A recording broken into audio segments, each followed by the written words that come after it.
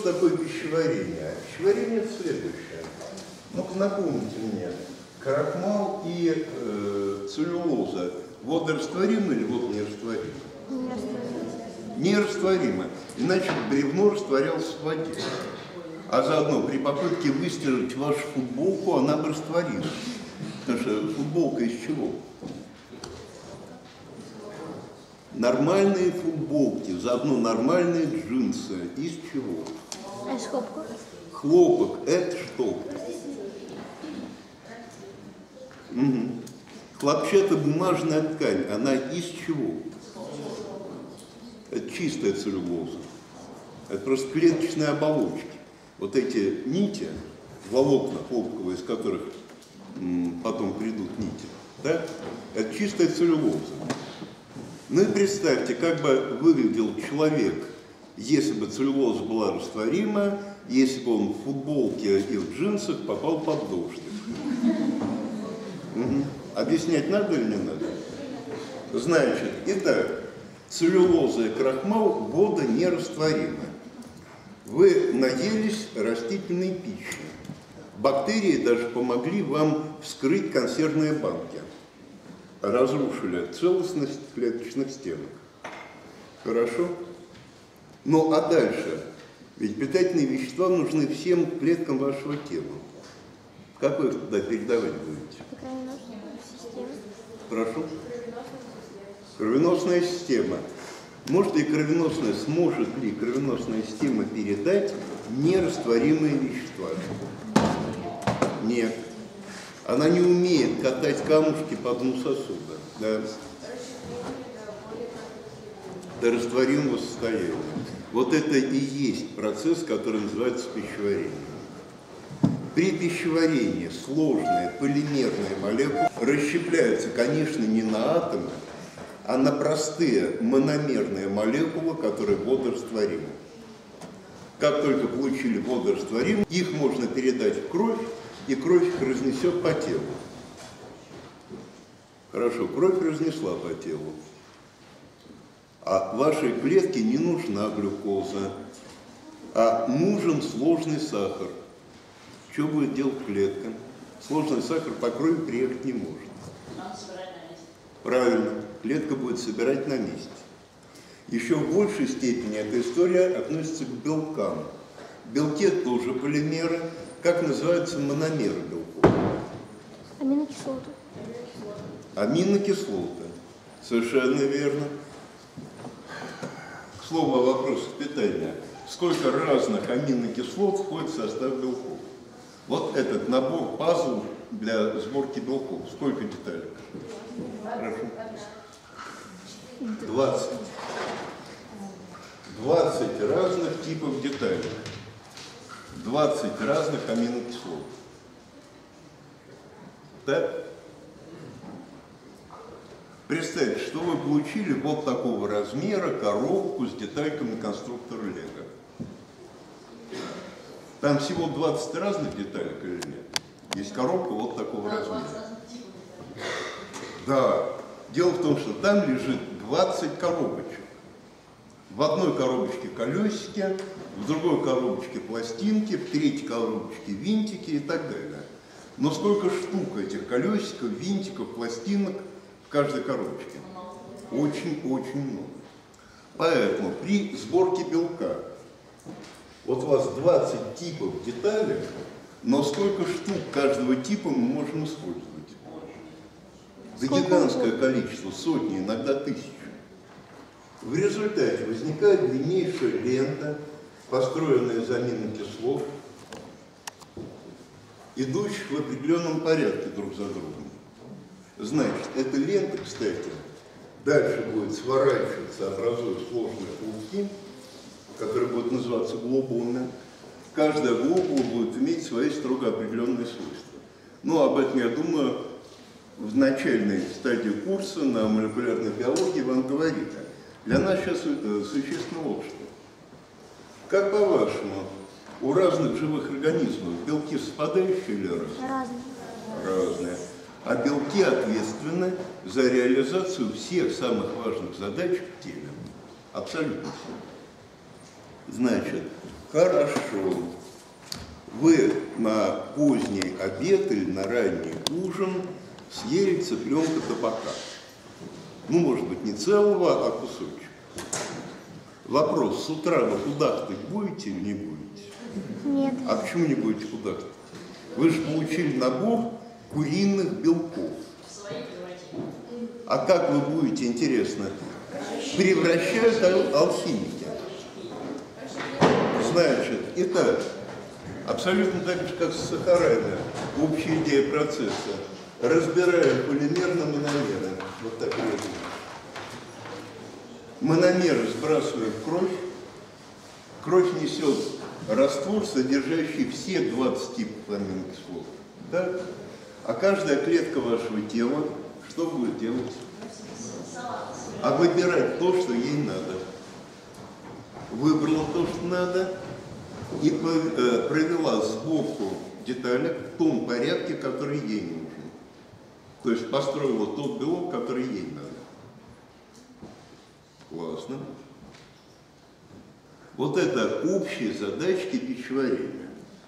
Ну и теперь пару еще таких хитрых хитростей. Как по-вашему, какая главная задача у желудка? Есть такой орган, желудок у человека. А что, остальные не слышали про желудок? Ну, давайте ради интереса. Значит, барышня, с вашей точки зрения, какая главная задача у желудка? Ага, расщепить, значит, пищева- э, пищеварение. Черта с два. Пищеварение в желудке далеко не самая главная задача. И главный участок пищеварения – это не желудок, вас обманули. Пищеварение вообще начинаться будет прямо в ротовой полости при вашем пережевывании пищи. Правда, далеко не для всех продуктов. Да? Общая стратегия пищеварения следующая. Сейчас мы с вами общую стратегическую картинку разберем, а дальше уже будем конкретно механизм смотреть. Вот у вас есть вот такая лента. В ней 100-500 мономеров, там, офигенной длины. А дело в том, что расщепляющие ферменты могут работать только с конца. Молекула расщепляющего фермент села и поехала, продвигаясь, резать мономерчик за мономерчиком. Вот так. Вопрос, сколько концов у одной молекулы? Да. Два конца. Какой-нибудь третий конец у нее есть? Нет. Нету. Общая стратегия переваривания. А Общая стратегия следующая. Гигантские полимерные молекулы, белки, сахара, крупные жиры и так далее. Вот они. Вот такая. Переваривание пойдет в два этапа. На первом этапе работают ферменты, которые не разрезают на мономеры, не отрезают шерки друг от друга.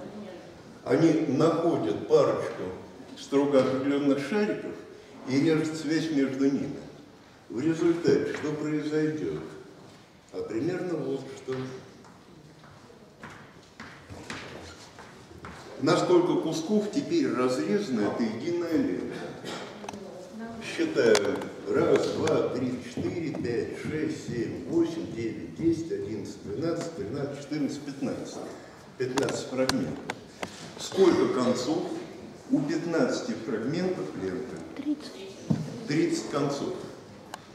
И теперь на каждый конец может сесть свой разлагающий фермент, что со скоростью полного переваривания. 15 раз. 15 раз возросла. Итак, переваривание каждой группы веществ идет в две фазы.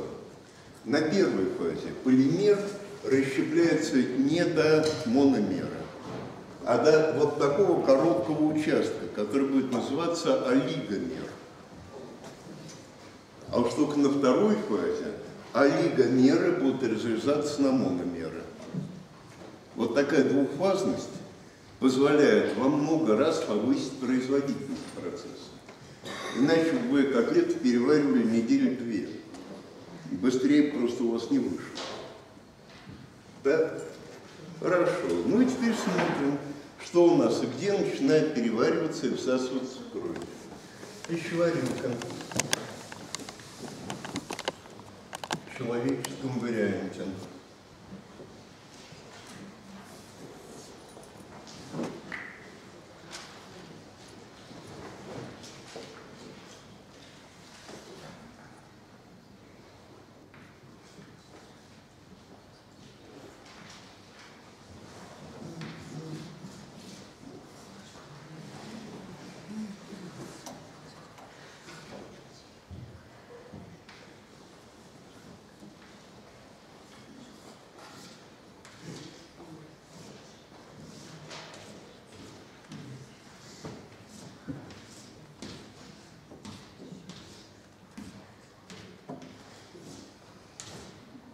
Первый отдел пищеварительной системы – ротовая полость.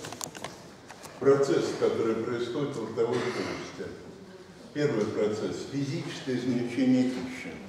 За счет жевательных движений так, пища перетирается между зубами. Одновременно с этим происходит смешивание измельченной пищи со слюной. Вопрос принципиально важный. Слюна – это очень важный пищеварительный сок. Зачем слюна важна? Да. Ребят, представьте, у вас есть, вот допустим, даже не очень узкая, а вот такая, мокрая внутри труба. Вот она мокрая внутри. И вы собираетесь сыпать через эту трубу сухой песок. Что произойдет? Да налипнет все, и ничего не пройдет сквозь эту трубу. Все будет заблокировано. Так? Хорошо, делаем трубу сухой. То есть пищевод делаем сухим, а не мокрым. Что сразу произойдет со всеми клетками пищевода? Они сразу все умерли. Клетки должны быть влажными. Без этого они просто умирают. И так понятно, что внутри пищевод, конечно, покрыт слизью. Можно ли сквозь него попробовать протолкнуть сухую пищу? Она там застрянет. Значит, поэтому в ротовой полости происходит не только измельчение, но смачивание и склеивание пищевых частиц для формирования пищевого кома. И здесь же начинает работать первый фермент. Фермент это называется амилаза слюны. И он умеет разрезать крахмал, только не до мономера. Вот крахмал это вот такая длинная-длинная цепочка из глюкозы. Рисовал уже. А амилаза слюны режет эту цепочку на такие парочки. Солодовый сахар. Так?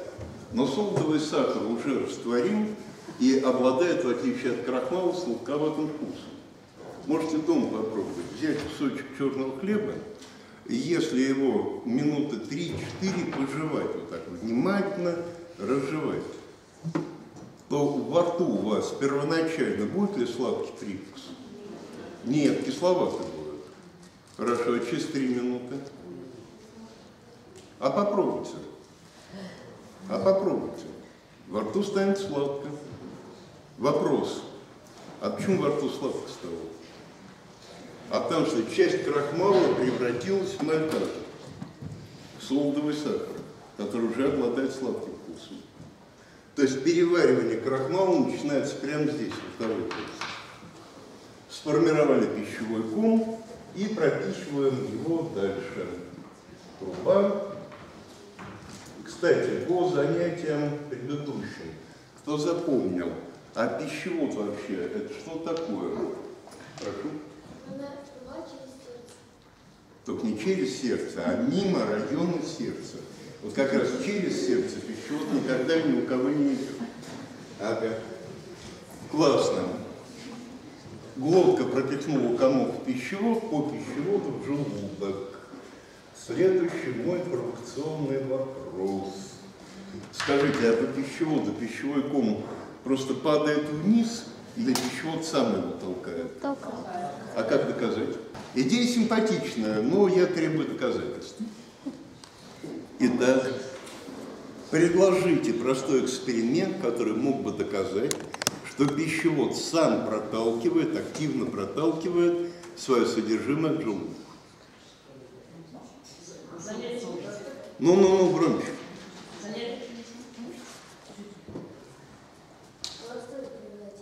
Съесть что-нибудь с ногами вверх. Во, разумеется. Прямо в понедельник сможете в физкультурном зале у себя в школе провести простой эксперимент. Взять, зацепиться за перекладину ногами, повиснуть головой вниз и после этого проживать и проглотить кусочек яблока. Скажите, кусок яблока может ли упасть вверх? На, не бывает. Когда вы висите головой вниз, то при глотании объект будет перемещаться снизу вверх. А значит, а значит, это перемещение активно за счет работы мускулатуры пищевода. Хорошо. Вбили в желудок. Что такое желудок? А желудок первая главнейшая задача – это орган-накопитель. Скажите, вы каждые 10 секунд едите? Не, не каждая. А питательные вещества клеткам вашего тела нужны раз в час или совершенно постоянно? Абсолютно постоянно. Поэтому общая стратегия какая? Если уж мы дорвались до еды, да, то мы вбиваем в себя столько еды, сколько влезает. Вбили. А для этого надо иметь один из участков пищеварительной трубки, который умеет хорошо растягиваться. Взяли, накопили еду. И теперь мы несколько часов себя больше ничего не забрасываем, а будем вести дальнейшую обработку того, что уже все закинули. Какие этапы обработки в желудке? Ну, во-первых, вторая по важности задача после накопления. Э, сколько жевательных движений надо делать на любой э, фрагмент, окушенный фрагмент плотной пищи? Кто знает диетологические рекомендации? Вот вы один раз откусили, там, я не знаю чего, цыпленка табака, гамбургер, сникерс, памперс, совершенно не важно. Значит, откусили. Сколько жевательных движений надо сделать? 22. Для того, чтобы полностью измельчилось, полностью пропиталось, сформировался равномерный ком, а теперь поднимайте руки, кто каждый раз делает прежде чем проглотить 22 жевательных движения. Ага, я тоже рук не поднимаю, не делаю. Да? Вопрос, а как же тогда недоизмельченная пища будет ниже перевариваться? Да не отдел, а весь желудок имеет вторую важнейшую функцию – механическое измельчение пищи. Представить это себе можно каким образом? Я беру на ладошку себе кладу котлету, накрываю второй ладонью и делаю вот такие движения 5 минут. Через 5 минут что остается от котлеты? То есть мой пищеварительный ком оказывается перетерт в однородную массу, которая в дальнейшем будет называться химус. Итак, отдельная пищеварительная комья в желудке превращается в однородную массу химус. Ну и сюда же выделяется печально знаменитый желудочный сок. Ну и что такое желудочный сок? Про то, что есть такой желудочный сок, слушали все. Прошу. Громче, громче. Угу. Слава, ну, во-первых, все пищеварительные соки, без исключения, это раствор на основе воды, это всегда водный раствор. Только вопрос, а вот в желудочном соке что конкретно в воде растворено? Ферменты. Давайте. Ферменты. Во-первых, пищеварительные ферменты. Это белки, которые будут развязать полимерные мономеры. Во-вторых, а во-вторых, активаторы этих белков. Смотрите, какая неприятная задачка. у всех клеток пищеварительной системы. У них задача создать пищеварительные ферменты. Это вещества, которые умеют разлагать белки, жиры, углеводы, нуклеиновые кислоты и так далее. Ну вот у вас есть живая клетка, вот она. Она в пищеварительной системе. Она должна построить пищеварительный сок. Но что с ней будет, если она такую молекулу здесь построит? Она сама, Молекулу, разлагающую, допустим, белки. она сама себе. Да, разумеется, будет самопереваривание. Потому что молекуле нельзя объяснить, что я хороший, меня не трогай, а трогай еду. Молекулы дуры, у них есть вот химическая структура и все. Но как нельзя кирпичу объяснить, что падать надо не вниз, а налево. Вы объяснять можете очень плохо, но он все равно вниз падает. Да? Ровно так же и с молекулами. Активный пищеварительный сок внутри клетки построить нельзя, это убьет клетку. Поэтому все клетки пищеварительной системы строят отдельно неактивные белки ферменты и отдельно активатор. А дальше?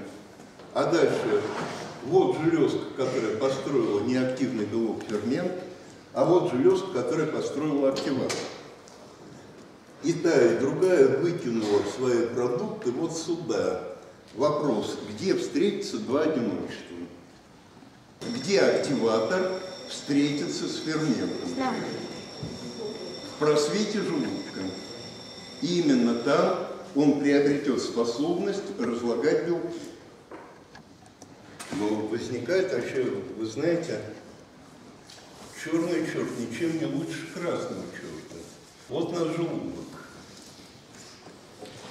У нас вот такой грушевидной формы, и выход из него развернут вправо, в сторону правого э, подребения.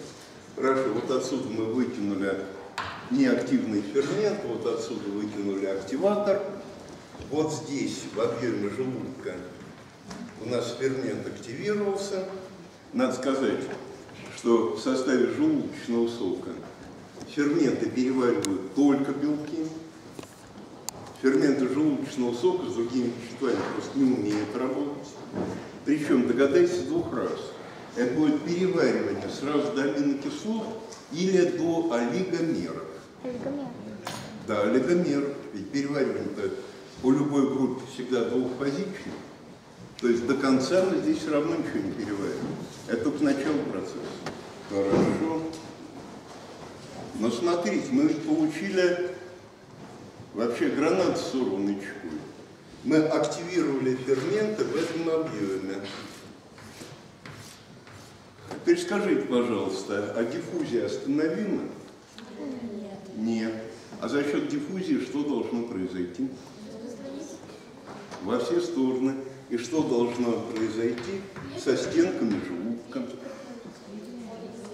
Они должны самоперевариться. Ферментам нельзя объяснить, что это хорошие белки, их трогать нельзя. Поэтому если уж белки перевариваем, то разрушены будут все белки в стенке желудка. Вопрос, как защищаться будем? Отлично. А еще? Отлично, вижу. Еще. Не переваривать? И помереть от голода? Хорошая защита. А еще? Нет, вот три человека, которые всегда работают, это я вижу. Ребят, не бойтесь включать мозги, не бойтесь ошибиться. Кто не ошибается вообще на свете? Никогда не ошибается. Только один единственный вариант людей, которые вообще ничего не делают. Вот это гарантия от ошибок. Страшно повторять, серийно повторять ошибку. А одна ошибка совершенно нормально. Прошу. Ферменты активировали, они стали переваривать белки. Вопрос, как от них защитить сами клетки стенки? А иначе, ну, громче.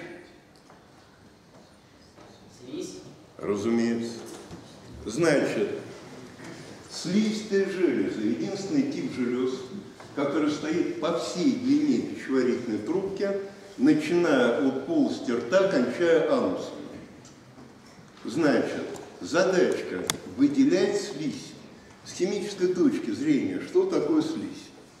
А слизь – это раствор веществ в воде, очень похожих на крахмал. Это тоже польский орехов. Да? Растворяясь в воде, э, эти полисахара дают киселеобразное состояние. Побольше их растворили, слизь более плотная, поменьше, менее плотная, более текучая. Биологические слизи играют не просто важную, а важнейшую роль в вашем организме. Не дай Бог с ними что-нибудь не так. Вот просто не дай то Бог. Пищеварительной системе. Слизистые железы, которые стоят вот здесь, в стенках. Да, кстати, самый углевод, который, растворяясь в воде, дает слизь. Для тех, кто любит умные слова. Называется муцин. Можете влезть в сеть, посмотреть, что это за вещество и как реально устроены биологические слизи. В результате выделился, выделился муцин, который прилип к стенке. Так? В результате и активатор, и неактивный фермент диффундировали сквозь муцин и активировались только вот здесь. Прямой контакт с клетками есть или нет? Нет. Слизистая защита. Да? Но что будут делать пищеварительные ферменты сока? Они будут переваривать слизь.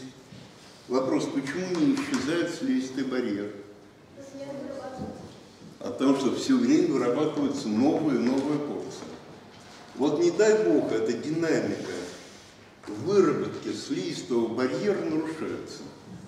Когда у вас переваривание идет активнее, чем синтез. У вас кусочек стенки оказывается без защиты, открыт для действия ферментов пищеварительных соков. Что на этом участке? Ну, не сразу язва. Язва – это уже очень продвинутое состояние. Значит, ну, в желудке первоначальное поражение будет называться катар, затем гастрит, а уж затем язва. Очень грубо говоря, еще раз упрощаю, э, разница, порог между гастритом и язвой в чем? Стенка желудка многослойная. Самый внутренний слой – это пищеварительное эпителий. Под ним лежит слой соединительно-тканных волокон, под ним гладкая мускулатура, которая в три слоя идет, у желудка сложная стенка, потом внешняя капсула. Так вот, пока воспаление только во внутренней слизистой, такое состояние называется гастрит. А когда воспаление проплавило уже глубокие слои, прошло первый слой соединительно-тканных волокон и пошло разрушать мышечную стенку. Вот это состояние как называется? Вот это уже язва. Значит, в чем опасность? Ну, кроме того, что это очень больно и противно. Опасность в том, что процесс может прожечь стенку просто насквозь. Вот так. Прободенная язва. Перфорация полого органа. Вещь страшненькая. Значит, в чем дело? Дело в том, что содержимое желудка – а заодно носитель воспалительного процесса оказывается пространством между органами. Кто знает, как называется состояние, которое называется в этом случае? Страшненькая вещь, которая называется перитонит. Общее воспаление одновременно всех органов брюшной полости. Перитонит смертельно опасен. Как лечит? Как будем спасать человека?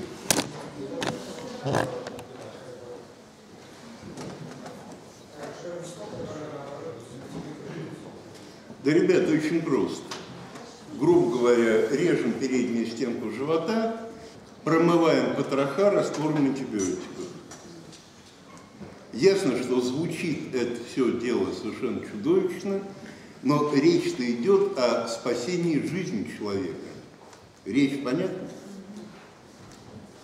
Понятно, что лучше до этого состояния просто не доводить.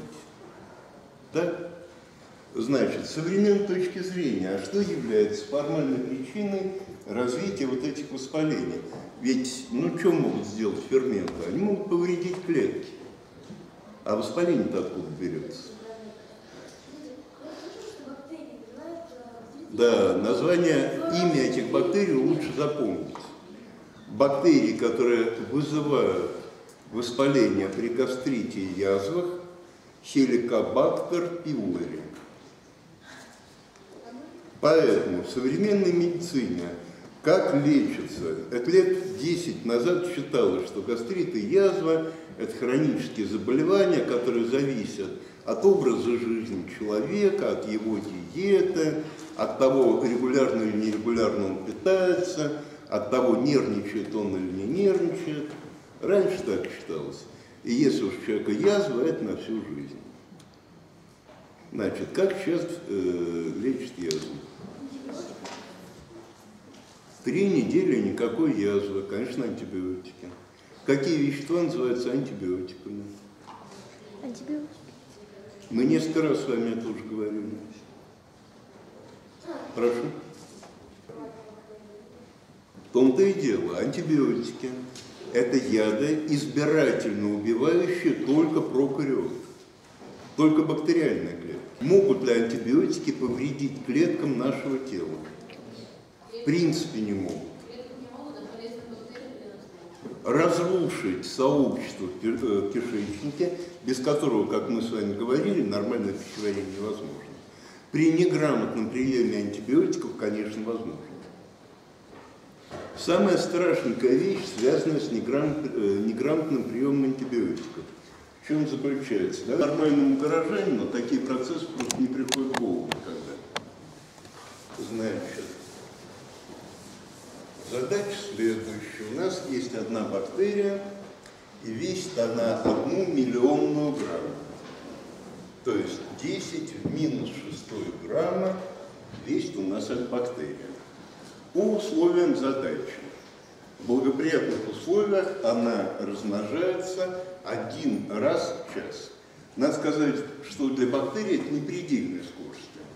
Некоторые почвенные бактерии при хороших условиях раз в 20 минут делятся. Но мы берем, да, мы берем такой средний показатель. Это один раз в час. Бактерия делится. Три вопроса, исходя из этих условий. Сколько весят потомки этой одной бактерии через одни сутки, через трое суток и через пятеро суток. Задача простейшая, не просто простая, простейшая. Ясно, что у нее вполне конкретный ответ. Число. 10, 24. Итак, если бактерия делится раз в час, то за сутки сколько раз она поделилась? Не 24, а сколько? 23. Понятно, что 23 раза. При делении что с количеством клеток будет происходить? Каждый раз. Давайте смотрим. Вот у вас есть бактерия, да? Она поделилась. Она второй раз поделилась. Она третий раз поделилась. Что с каждой клеткой каждый раз происходит? Андрей Николаевич, все-таки 24 раза поделилась. Сколько раз удвоится количество клеток? за Андрей? Николаевич, все-таки она 24 23 раза. раза. Как в математике называется умножение числа самого на себя? Андрей, Возведение в степень. Андрей Николаевич, Сколько? 24 раза она поделилась. 23. Первое деление уйдет на получение двух клеток. Да, но это уже тоже деление. Еще раз. Это из нулевой Первое деление, первую. уйдет на получение двух клеток. А дальше 23 раза у вас произойдет удвоение двойки. Да, а сейчас... Это значит, для того, чтобы вычислить количество получившихся бактерий, двойку надо в какой степени возвести? 2 в 23 степени. Классно. Как можно разложить эту запись в какую-то более удобную форму? А вот как 2 в десятой умножить на 2 в десятой умножить на 2 в третьей. Кто знает, чему равно 2 в десятой? Ну, примерно. Ребят, мы же с точностью до порядка работаем. Считаем, что тысяча. Итак, тысячу умножаем на тысячу умножаем на 2 в третьей. Что получаем? 8 миллионов. Итак, за сутки от одной бактерии произошло 8 миллионов потомков. Вопрос, сколько весят они все вместе? 8 граммов. Ну, подумаешь, пустяк какой. А теперь вопрос, а сколько будут весить потомки этой бактерии через трое суток? Мгм. Каждые сутки во сколько раз будет возрастать масса?